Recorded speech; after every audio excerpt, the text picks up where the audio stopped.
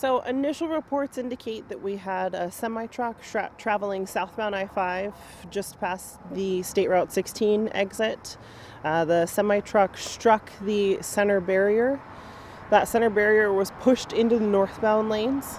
Um, the semi truck that was traveling southbound struck the barrier, and we believe that there were at least two other vehicles involved.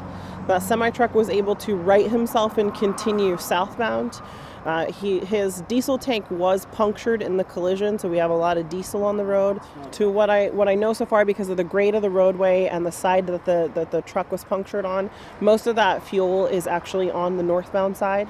Um, that semi truck driver then took the next exit and was eventually contacted by Tacoma PD, um, who then was also contacted by troopers. Now, northbound, we're dealing with the center median was pushed into the northbound lanes of travel. That uh, started a collision um, where we've got at least five other vehicles involved and a semi truck.